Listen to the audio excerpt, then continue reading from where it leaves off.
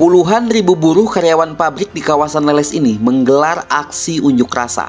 Banyaknya masa aksi membuat akses jalan Garut Bandung di kawasan Tutugan Leles sempat tertutup sementara.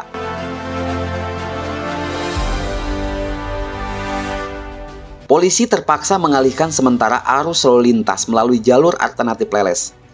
Aksi unjuk rasa buruh ini dipicu oleh kebijakan pemerintah Kabupaten Garut yang menetapkan kenaikan upah minimum kerja tahun 2022 hanya sebesar Rp14.000 saja.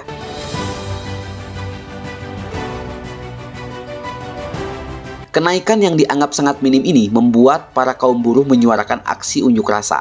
Diketahui upah minimum Kabupaten Garut saat ini hanya Rp1.900.000.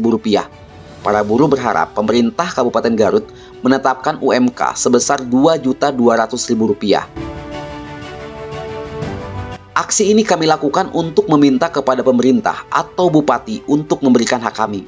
Aksi ini kami lakukan untuk menuntut atau meminta kepada Bapak Bupati untuk memberikan hak kami sebagai buruh upah yang diberikan ataupun kenaikan yang diberikan tahun ini sangat jauh dari kelayakan untuk kami kaum buruh karena kami anggap kenaikan ini sebagai bentuk upaya penindasan yang tidak sesuai untuk kami kaum buruh di Kabupaten Garut. Jadi kami meminta kepada Bapak Bupati untuk memberikan hak-hak buruh sesuai dengan kelayakan hidup di Kabupaten Garut.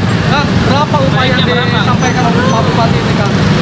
Uh, upah yang kami sampaikan ke Bapak Bupati itu kurang lebihnya dengan nominal 2,2 juta untuk di Kabupaten Garut. Karena sekarang hanya 1,96. Artinya ada kenaikan berapa? Kenaikan hanya Rp14.000 di Kabupaten Garut tadi itu sangat sangat sangat prihatin sekali untuk kami warga di Garut dan kami minta untuk semua mendukung dan mendoakan kami yang sedang berjuang hari ini semoga perjuangan kami mendapatkan hasil yang memuaskan.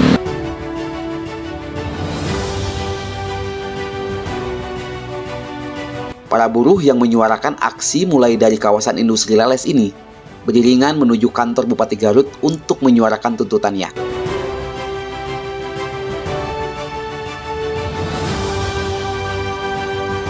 Di depan kantor Pemda, masa kembali berorasi menuntut kenaikan upah minimum yang lebih layak.